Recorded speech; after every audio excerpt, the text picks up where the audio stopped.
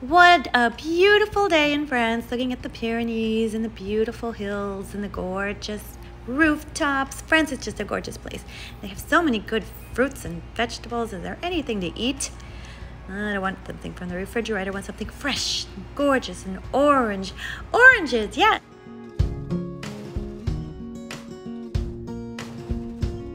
What's up, everybody? It's Miss Ibarra, and I'm here today going to do a still life. So, got inspired by all the beautiful fruits and vegetables that my friend had at his house in France, specifically Saint Laurent de Chardin. I think that's how you say it. But anyway, so let's get started. We're going to do a still life of fruit that are the color wheel colors, just so we can review that a little bit more. Okay, so I'm gonna start with a bowl, and I'm gonna draw with my crayons. And let's see, I think I'll take a nice blue, a nice white bowl to hold my fruit. And it should be about the length of my hand, okay? Make sure it's not too small so it can fit something, right? Then I'm gonna just choose my different colors. Let's see, I'm gonna do maybe an apple, maybe an orange. Yeah. Notice how I'm overlapping, so I'm not putting them, you know, just there without, because realistically, you would see kind of overlapping going on, right? And then we're going to do some, let's see, blueberries. Yeah, so to blueberries. Mm. Uh, these are really big blueberries, but mine are big. I have some in the refrigerator. Put them in my cereal. Yes. Okay, now we're gonna go ahead and do an avocado or grape or lime. Let's do a lime. Okay, so here we're gonna put maybe like this. So it's kind of like a lemon, but facing that way, right? Okay, and maybe some grapes. Okay, for purple. So this. It's like the letter C. And then just kind of, same way you do scales on a fish.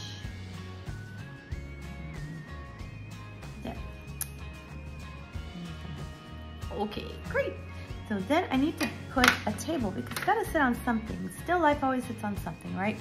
All right, so let's see, I think I'll do, hmm, maybe orange or maybe brown, any color you want. I kind of just want to keep this nice and warm.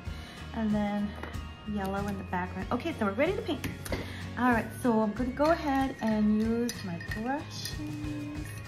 And then my flat brush, it's about, about that size. I'm starting with yellow because yellow always gets dirty first.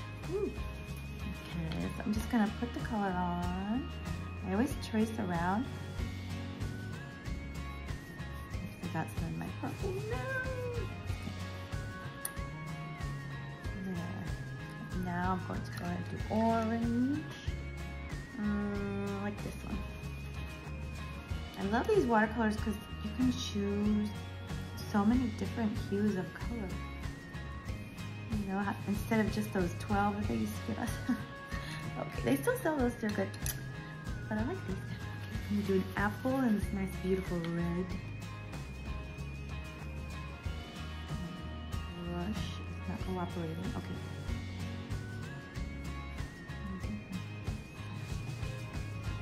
Very careful, now I'm gonna switch my brush to do my cool colors. I'm gonna start with purple. Nice dark. I can go right over my crayon. That's why I use crayon because it's a water resist and the water resist won't let that go through.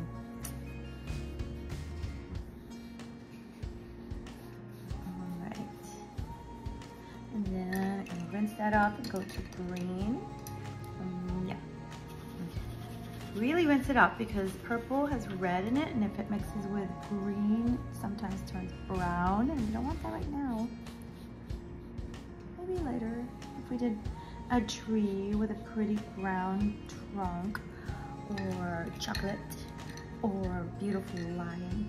Okay, so now I'm gonna get some blue, really dark blue for my blueberries. I might mix two together.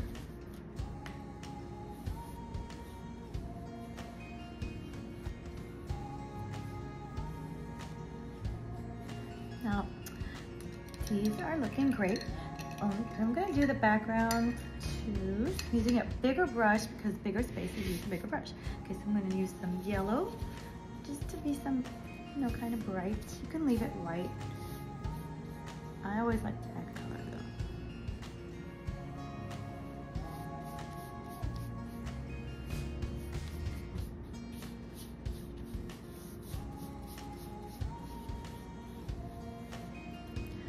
gonna do some orange on the table.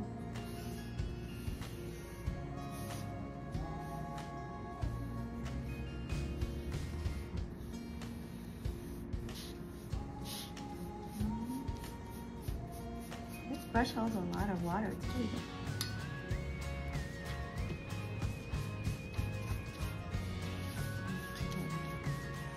I'm going to come back in and do some shading. My favorite thing. Okay, so I'm gonna come in and use my color wheel to see what my analogous colors will be so I can add some shadows. So for my lemon, I'm gonna use green because it's next to it, analogous. So just a really light green and then where I think a shadow would be, right? So just right here, very, like people shouldn't notice it. They should be just like, wow, that looks dimensional. How did you do that? With analogous colors. Okay, blend it in. Let's get a little water and just mix that. All right. Need a little bit more like right where the orange starts. Okay, so now I'm gonna go to my orange and do the same thing. All right, and I'm gonna get just a, a wet brush and rinse it off and make that shadow. And come back to this one in a minute. I'm gonna get purple for this one. I'm using my color wheel because I know that purple is next to red and it'll make a nice shadow. Oh, that's a good one. Here. Just think, okay, so the sun's coming from this way or the light source and that way I'm just gonna get clean water and go through around. Oh, I love it. Oh my gosh. Okay, so now I'm gonna get purple for blue too because they're next to each other and purple tends to be a darker color. And I'm just gonna add little dots on each side of each blueberry. Okay, that looks bad right now, but fine. I'm gonna move it in each one.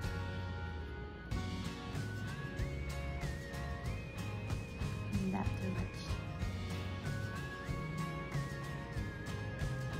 We're gonna add something else later, so I'm gonna keep, go ahead and keep working on this, and I'll come back in just a minute to add that one last little touch, okay? Okay, I'm back, and I just wanted to show you how the final product is and how we added a shadow here. Also added a shadow to the bowl. Did that with some gray, and this was just a darker orange. So just those two little things can make such a big difference from a flat work of art like this, where you don't see a whole lot of dimension, just like flat, to something like this. It feels round, right? And then I added some white for the light. We wanna wait till it all dries before you put that on. And that's it. Let's see, yeah. So I hope you had a good time and I'll see you next time. Enjoy doing still life. Like and subscribe. Bye.